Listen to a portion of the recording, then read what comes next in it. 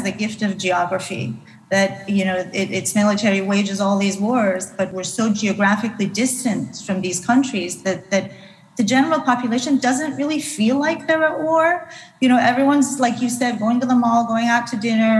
uh, doing about going about their ordinary lives. And i think uh, with the ex- exception of military families uh, veterans who are fighting their journalists or, or diplomats or whoever's serving there uh, everybody else doesn't really feel uh, like they're at war. Here we are waging basically in Iraq, uh, ruining, de- destroying any semblance of ordinary life for the Iraqis, where car bombs were going off, where the act of uh, putting gas in your car or sending your child to school, or even for me going to the supermarket was uh, a Russian roulette.